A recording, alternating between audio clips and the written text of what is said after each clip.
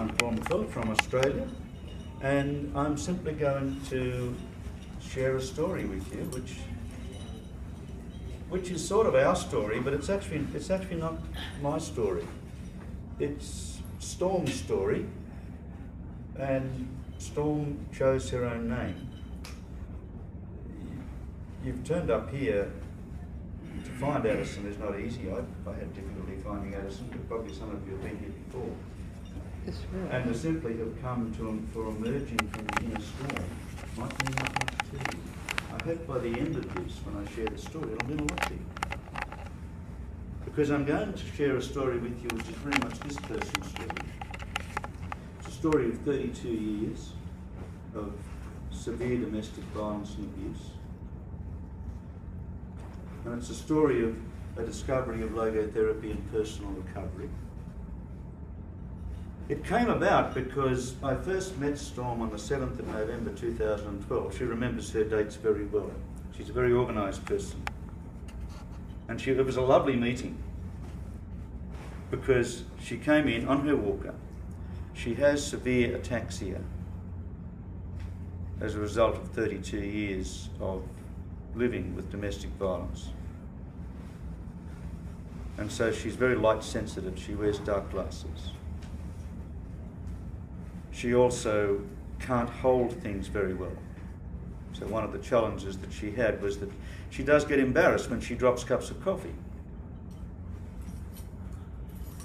She can hear, that's quite reasonable, but she can't readily work with touching pieces of paper, for instance. She's very good with a, um, an iPad.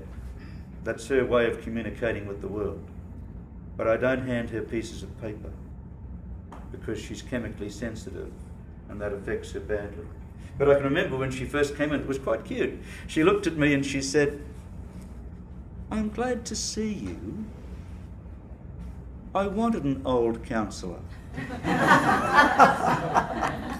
I took that on the chin and we moved on.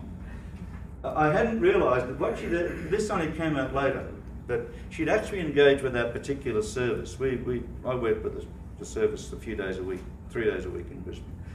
And she'd engage with that service on email because we do offer an email counselling service. And she's very good on the iPad at finding things. So she found this and she said, I'm going to see if I can talk to an email counsellor. And she did.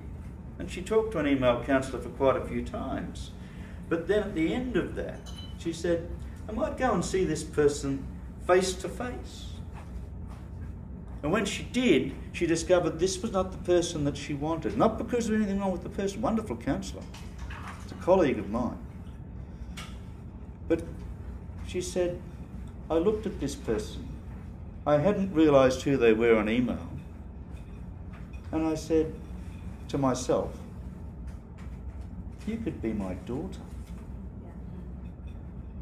And I have lots of things I want to tell you, but I can't tell these sorts of things to my daughter. So I want an old counsellor. Apparently, when you get old, you can hear these stories. That, was, that seems to be the theory. So this is her story, and it's very much her story because what I actually said to her after we'd been working together for a while, I said, I'd love to tell you a story. I'm going to a conference one of these days, and I want to tell you a story. And she said, Yes, yes, if my story helps other people, tell my story. So I said, I will. I said, I won't write a paper, but what I'll do is produce a set of slides, PowerPoint slides, and I'll talk to them. And she said, That'd be good. And a couple of weeks later, she sent me on email a set of PowerPoint slides and said, How about these? this might be my story. And so I said, Yeah, yeah, that's good. That, that looks good. Except slides are slides. They don't tell me what you meant. They summarise things for you. So I better talk with you about your slides. And she said, Yes, yes, okay. So she came in specially one, one time when I was there. I only, come, only go there Fridays. So she came in specially one Friday and she said, I'm here to talk about the slides. She went through slide by slide. And she said, Why don't you interview me? And I said, Yeah, let's interview you. So, a little bit like Marshall up the front here, I had one of these devices and I said, why don't you talk to the slides? And so she does. So a lot of what we do, it will in fact be Storms talking to the slides. And she began her story in a very different way to what I would. You see, I have the affliction of having a first degree in pure mathematics, so I tend to, I can be a logical thinker. I try not to be a logical thinker, but I can be a logical thinker. And so I would have told this story very differently. She started here, almost at the end to me, because she tried in this slide to recognise the real changes that she'd made and the level that she'd made them at. So, see if we can get. Estelle, just looking at that first slide, we're going to introduce you to an audience and they've never met you before. I would have put this together very differently, telling the story from the beginning. You've chosen mm. to tell it almost at the end. Mm. What was behind your thinking? Well, um, when I came into counselling on the 2nd of November, um, I'd say I was ripe for counselling. Uh, like uh, I was beginning to realise that uh, I had a lot of, um, you know, deep scars, uh, and I had only seen the external damage. And uh, when I have been in counselling earlier times, uh, I talked about it uh, as if it was just sort of on television, the news, you know. Uh, I talked about something. And when I came into counselling on the 2nd of November, uh, I got into my soul, you could say. Gets two bites of the cherry on. My understanding of logotherapy from my wide reading um, informed me um, about um, importance of values in life and the meaning of life, the meaning of suffering, and uh, it uh, showed me that um, there's a purpose in life and it helped me to uh, accept what had happened to me without condoning what had happened to me. We don't do logotherapy. I don't talk to clients and say, now I'm going to do some logotherapy with you. I'll tell you the story of Storm and logotherapy later. She's very good at iPads and Googling. But this is what she actually said, uh, and she had read Man's Search for Meaning by this time, by the time she talks about this slide. And she said, This is an email to me. Like my Liberation from Domestic Violence is the title of the email. I've considered my own experience of that final liberation from the horrors of domestic violence as I read Frankl's account of the psychology of men liberated from the World War II camps. One, I had lost the ability to feel pleased, and I'm having to relearn it slowly. I did not feel freedom as I was expected to. My desire to talk about what I'd endured became compelling, but people gave a so what response. What I needed was to be able to feel again. I knew very little about myself on liberation, and step by step, I'm slowly becoming a human being again with feelings. I was under enormous mental pressure for so long. When the pressure was released with a sudden separation from the oppressor, I was left with a deep sense of emptiness, not the longed for sense of freedom and happiness. I justified my attitude and behaviour towards others, although insignificant events, by my own terrible experiences. Slowly, I have had to learn to guide myself back to understand that just because I was treated badly, that did not give me permission to treat others unkindly. I thought I'd reached the limit of my sufferings just to realise I could still suffer more and still more intensely with no possibility of comfort of mind ahead. I was not prepared for unhappiness on liberation. Looking back on 32 years of domestic abuse, I could not understand how I endured it at all. So we move on. At one stage, I said, just in one of our sessions, have you managed to forgive yourself? It was just a question. It throws people, it threw Storm. What's this thing about forgiveness? I don't forgive him. But the question resonated with her. And I had suggested to her that she might do some forgiveness. She says this about her painting. And she'll talk to it in a moment. She sent me an email. An act of compassion towards myself. I forgave him on the 26th of January 2013. Deep bitterness would destroy any hope of my full recovery to a happy life. I felt an awareness of being clean after the act of forgiveness, although I had no awareness of not being clean prior. I also felt relief it was over. Art therapy was the tool that helped me to accomplish this. She's an artist and a poet.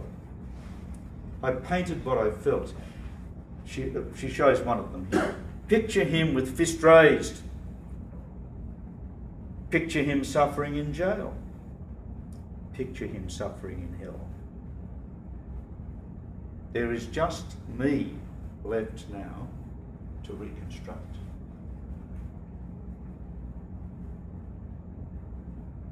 In slide three, I can remember asking you at one stage whether you'd forgiven yourself, and you came back to me with this poster. Well, I still don't feel I need to forgive myself um, for adhering to my values during the marriage, um, but uh, I discovered in therapy, um, uh, well, therapy really brought the bitterness and resentment to the head and it was so uncomfortable, uh, you know, inside of me. Uh, I just couldn't bear it anymore, and that pushed me forward uh, to forgive him, uh, not for him, because that's not going to help him, um, but for myself. And after I had forgiven him, uh, the pain uh, subsided inside of me. This is a beautiful piece of work, this poem here, and possibly you can't read it from where you are. I hope you can, because I don't want to read things that you can already read. But she sent me an email about this uh, entitled, He Broke My Head, but he, he did not break my spirit. Paul, this was a strong thought in my mind as I walked with the assistance of two walking sticks along the beachfront at Wynnum. I have this internal drive that compels me to do such, which I don't understand. She wrote this at the night of one, on the night of one of her most severe attacks. And she went upstairs and wrote this to herself. I have high regard for you. I have awesome respect for you. I delight in you. I plan fulfilling days for you. I give you creative activities to enjoy doing. I give you enjoyable moments. I have faith, hope and faith in you. And when she showed me these things, I kept talking to her about how she had been able to overcome this in her own life already. The final step was going out the door. And as she said, I kept saying to myself, you have to keep going. You have to keep going. When she decided to leave. I'm going to go back because I missed one and I've had that in front of you and I should have mentioned this to you.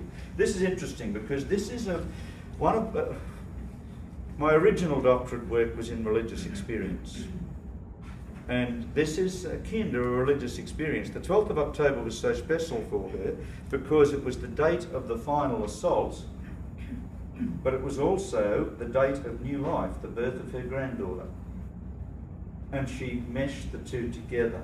and I'll come back to the religious experience side a little bit later on because she has a more profound experience again. And this is the this is the grandchild. Yes, um, I have always found uh, the 12th of October every year uh, a traumatic anniversary for me because on that day my whole life changed. Um, I couldn't walk the same, I couldn't eat the same, couldn't clean my teeth, and um, my granddaughter uh, chose to be born on the 12th of October, which made it a new day for me. So I no longer dread the 12th of October uh, each year anymore. Um, uh, it, it's just wonderful how, you know, life has a way of giving you little gifts. And that was a gift really from life. And this one. Now this is, to me, one of the most important pieces of poetry because I remember you telling me that you wrote poetry and the story behind this particular piece is so significant. Yes, on this particular night, after uh, my ex-husband had uh, already given me brain damage and maimed me, uh, told me that I had been a leech and that I had been a leech all our married life. And rather than let what he said destroy me, I went straight and wrote this poem to myself to validate who I was. Uh, so it was my way of fighting back, uh, you know, to uh, preserve myself. She frames these, she brings them along, that's a photo of it. And, and then I have a habit of whatever we do in a therapy session, if it's something that we've worked on, if it's on the whiteboard, if it's something we've taken a photo of, I, I send people an email to say, this is what we did, don't forget this. And uh, because she's so good at the iPad, she kept all these, that's how she put them together. And this is where she discovered logotherapy. Because she's so good at the iPad work, she decided, who's this old person that I'm talking to? We'd been working for a few sessions. And she decided to find me. Well, she did. She found me.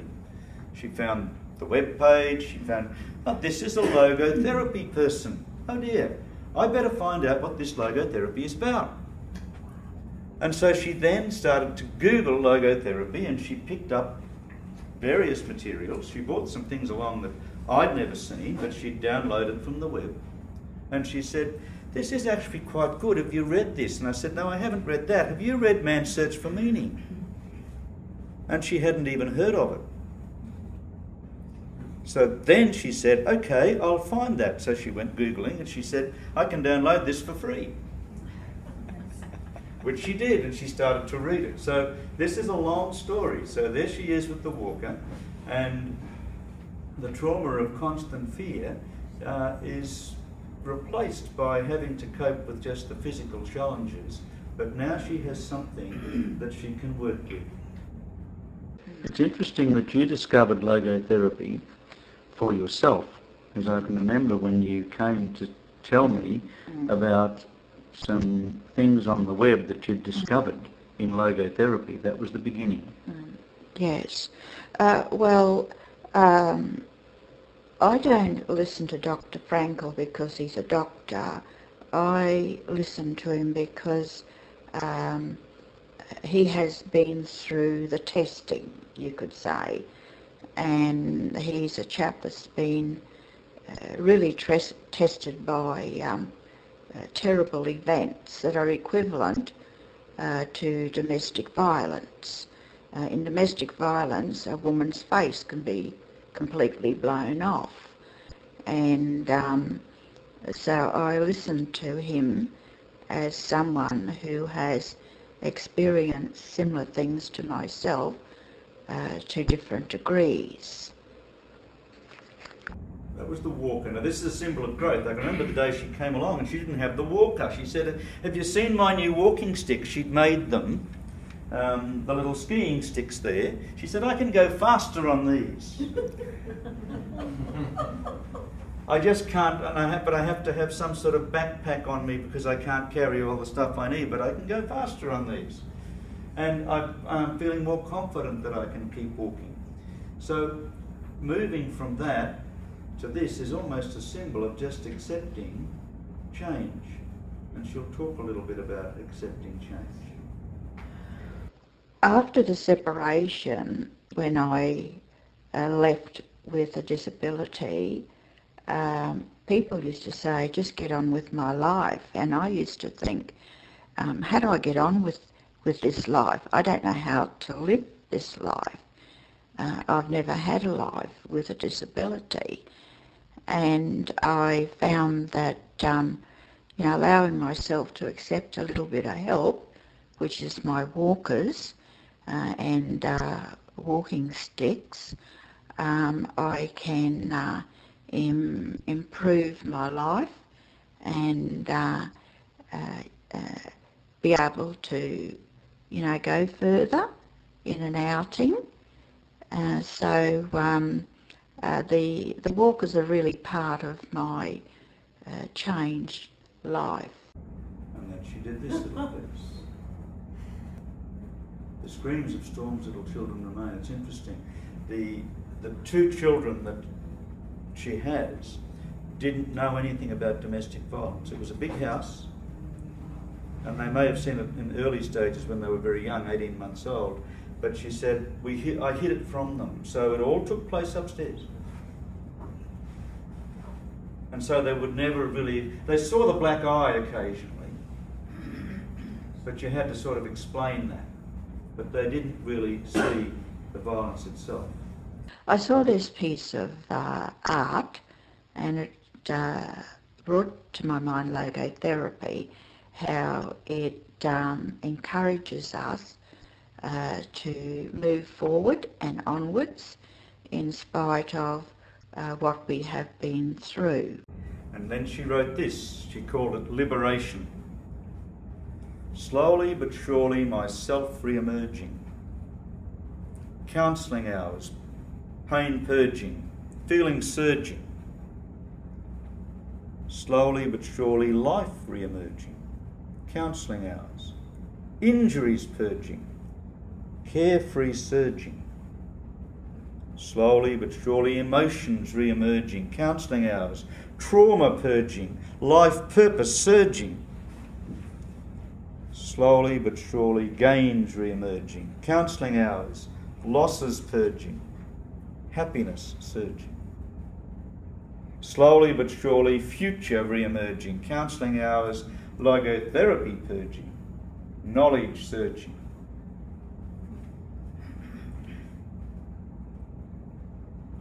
And this is beautiful. this is absolutely beautiful. This, this has a long story because at one stage I got an email to say, I really want to ride a bike because I used to be able to ride a bike and I could ride it for miles, but I have a ataxia and I'm really afraid that I'll fall off the bike. And if I fall off the bike, I will injure myself. I'm just afraid to get on. By this stage, she'd done Man's Search for Meaning, she'd read a lot about logotherapy, and she finished her little email by saying, I think I need paradoxical intention, don't I?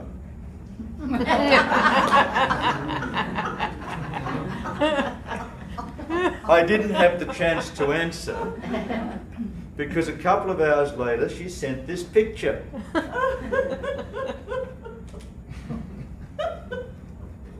and basically what she said was, um, she won't say this in a moment, but, but what she said in the email was, I've turned this thing on its head.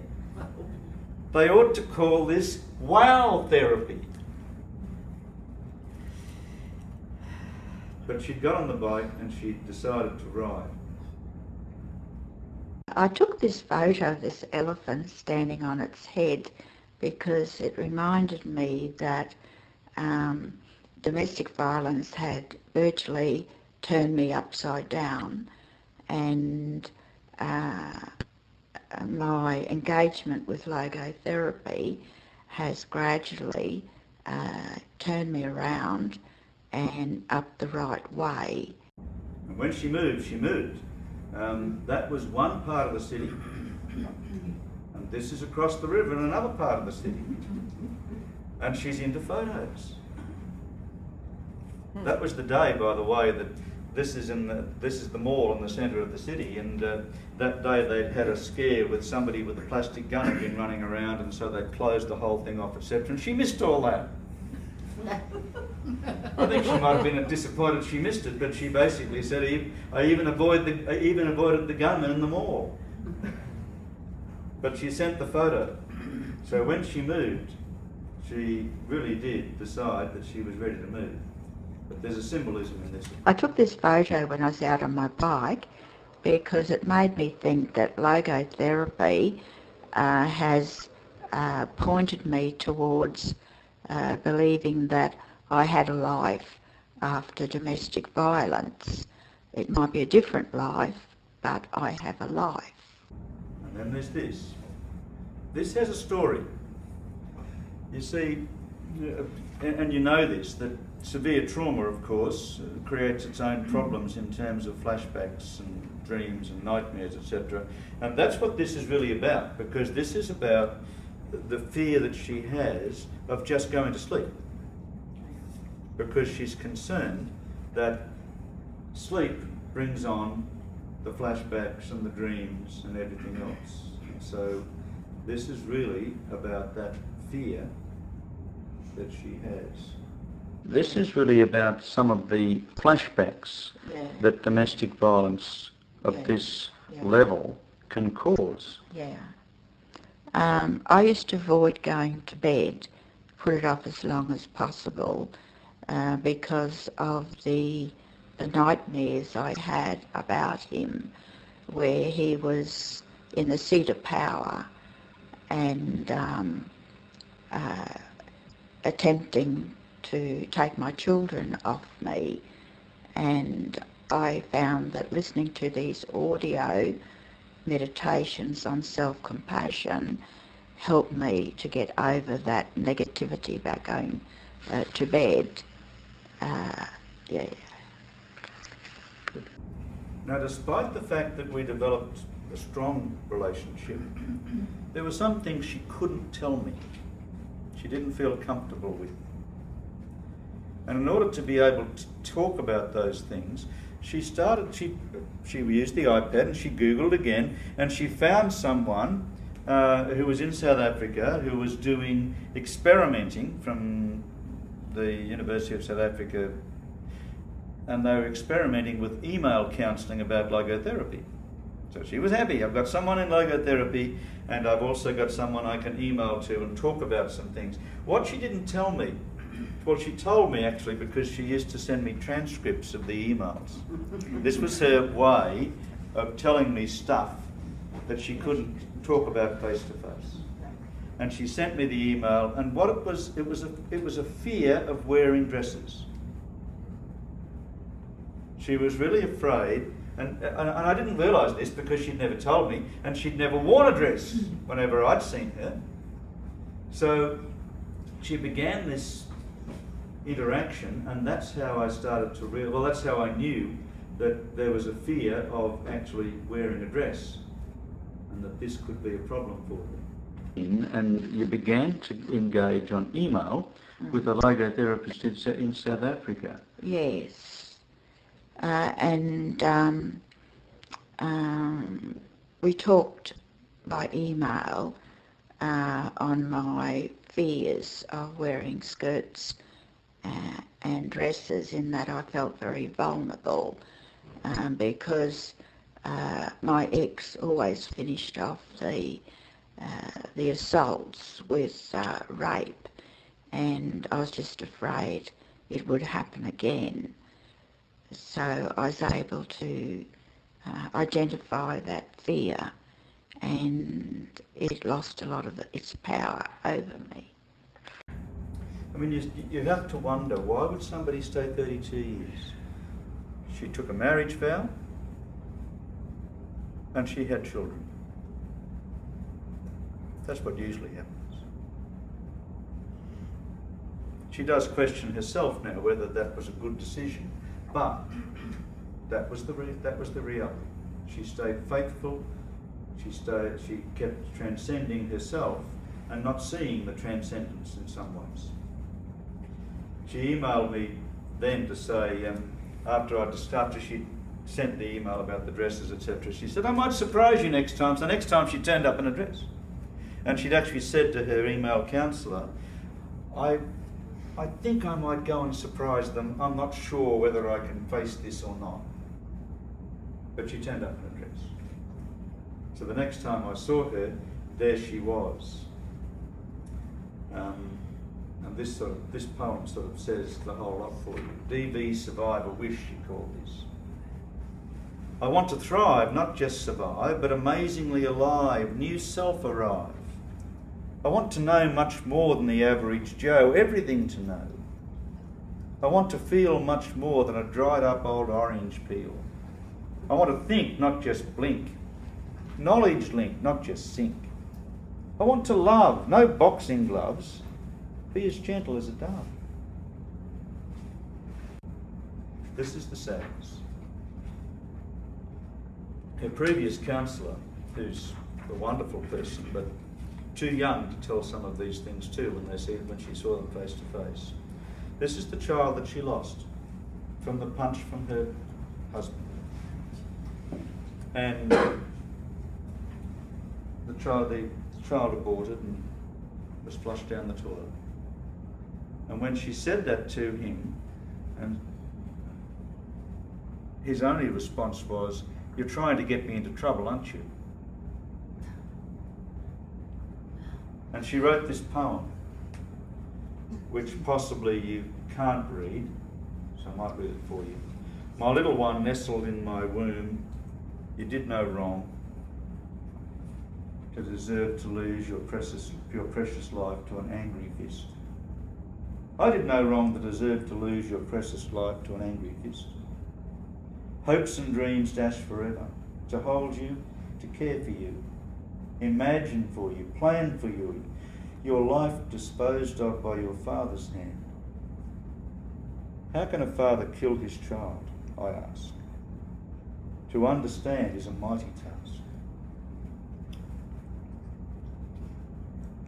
Her previous counsellor encouraged her to write that. And this particular grieving was really important for her. This is an important yes. issue because this was the loss of a child mm. because of domestic violence. Yes. Um, I wrote this poem uh, and presented it uh, to give um, some respect towards uh, the child I lost and um, to show my love for the lost child. And when I was punched in the stomach, uh, I didn't know that that happened to other women as well. So I virtually thought this only happens to me, nobody else in the world. And uh, I think this assault is the one that most destroyed me. She put these things in because I send them things that we do, right? So this is just a, well, we did some work on the whiteboard at one stage. I like the whiteboard.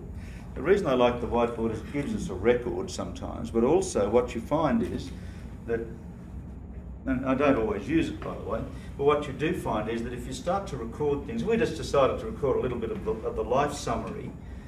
If you start to record things like that, people concentrate, they turn, you can see their chair move, and they're actually self distancing. They're looking at their life from a distance. And we often look at some of the most challenging and most beautiful events. She wrote a few things. We did nothing special. We hadn't talked about logotherapy, but she talked about some of the things that had been part of her life, including the fact that she had two sons. One son uh, stays in contact with her, the other son and they hadn't seen any of the domestic violence, doesn't really believe all this happened and is very negative towards it.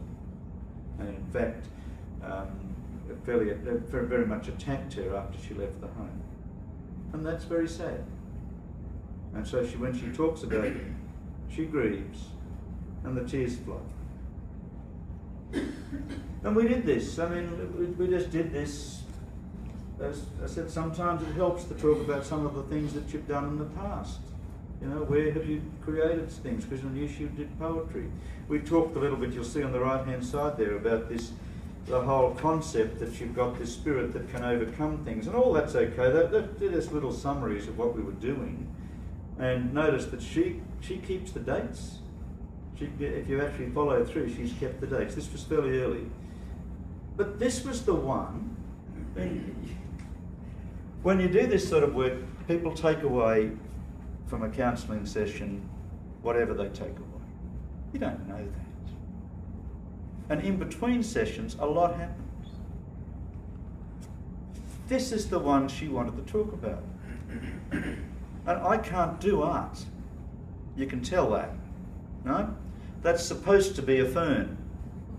Ferns grow that way. Right? You can sort of see it, but gee, it's not well done. But she loved that. And she took that away, and this has meant so much to her in terms of uh, what it's all about. Like she says,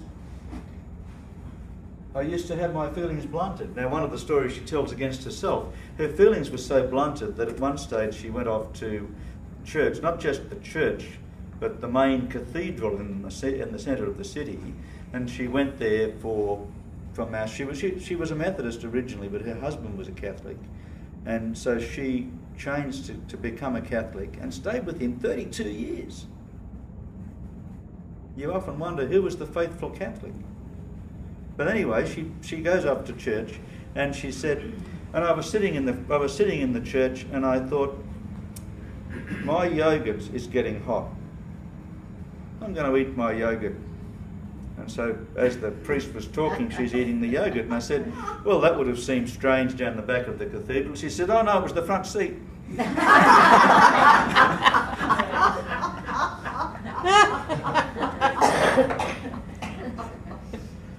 but she uh, basically starts to say, Well, this, is, this meant so much to her because she feels that now I'm finding my life again. And this is very important, even though the diagram is very simple. Mm-hmm.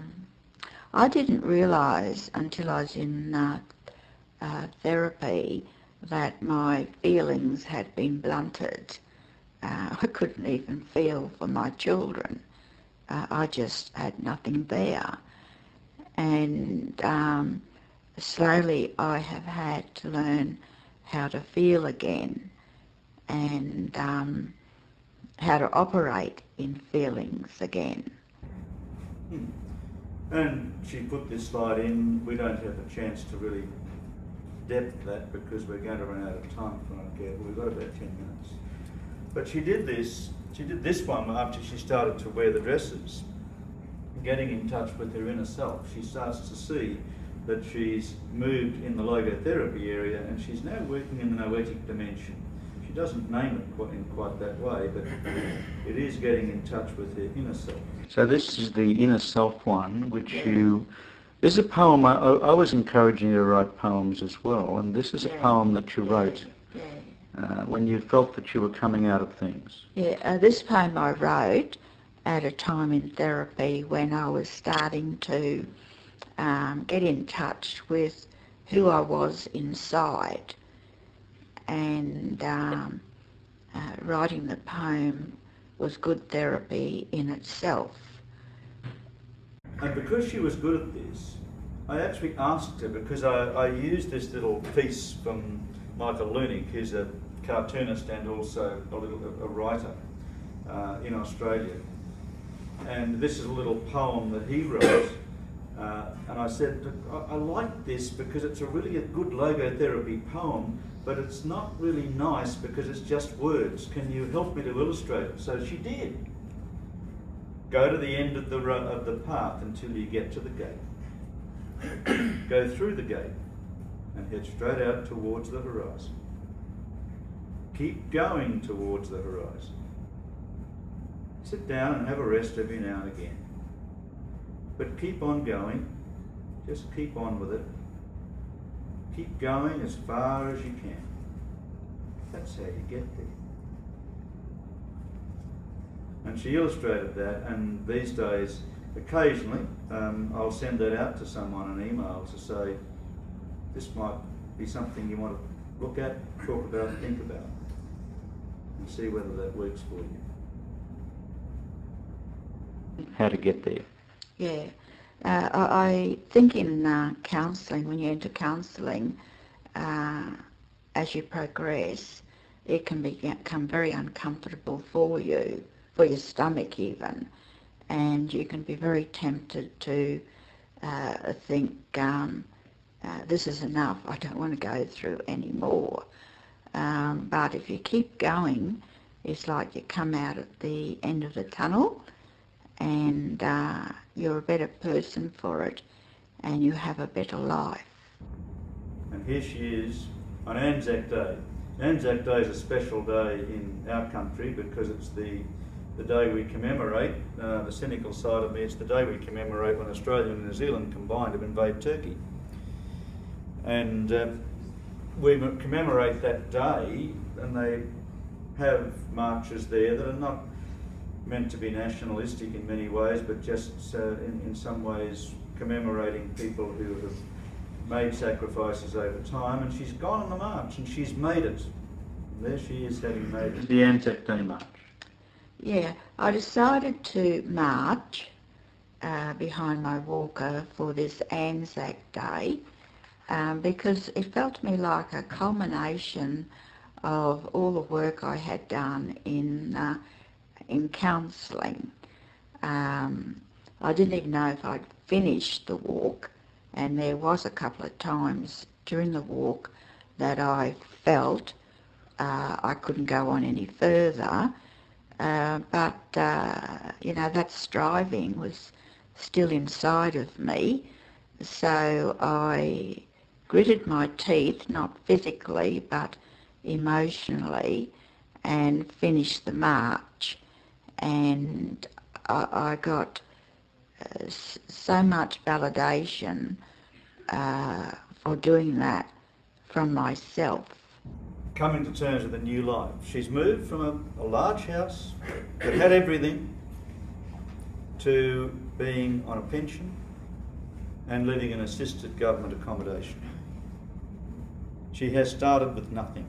She's moved cities in order to be completely away from the, the person and she started with nothing. And she has to come to terms with that. So doing up this little living area, this little flat that she lives in, um, was creativity unblocked for her. And by that stage, she'd begun to take charge of what we were doing. But let her talk first. Um, this photo of my creativity um, tells quite a story. Um, after I left the marital home, I had a blockage to writing, to writing poetry. Um, I just couldn't uh, let myself go free and be creative because it was like all my creativity was still locked in that home. And during the process of the counselling, uh, I've been able to um, take possession of that uh, creativity and begin afresh uh, where I am at now. She didn't only take possession of the flat, she took possession of the counselling sessions. Because she used to send me an email beforehand to say, I've decided but next time I meet with you, we want to talk about this. and she sent me this email at one stage, which she didn't actually keep faith with, but she said, "I'd like to let you know that I should need, uh, that I shouldn't need any further counselling after our next session, in the light of the achievements I've gained. I would like my final counselling session to reflect on the achievements." And then she lists them.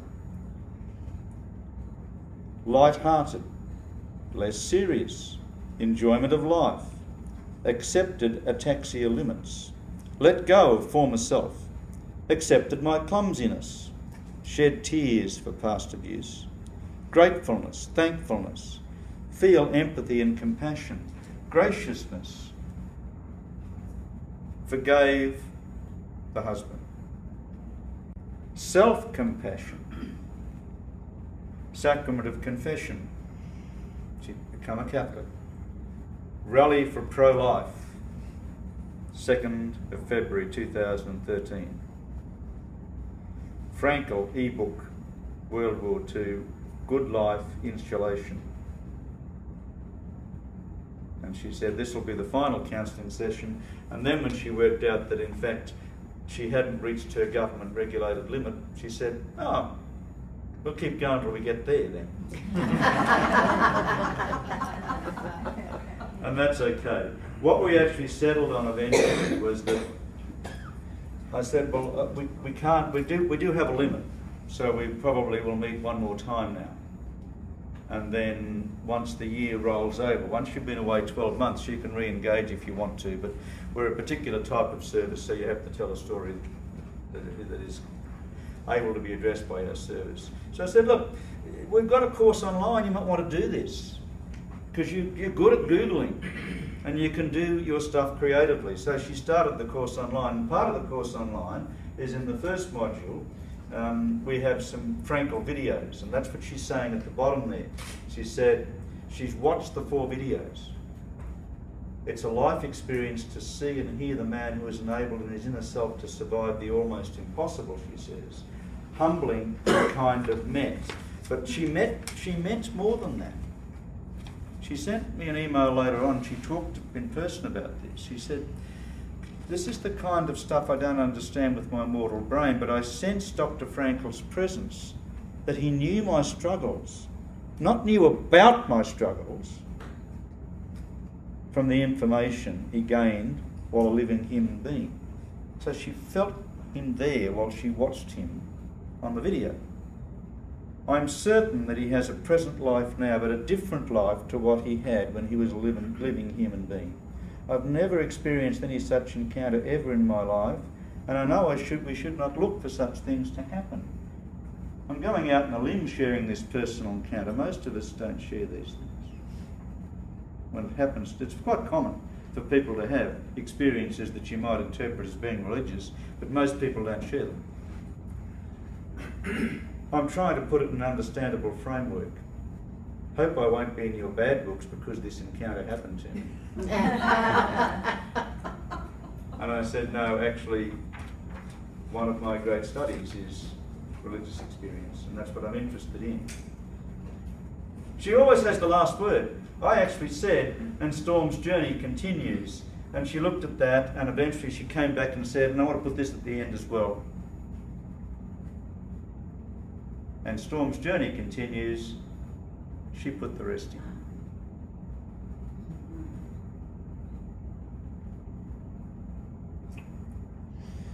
And that's Storm's story. Thank you. Thank you for sharing.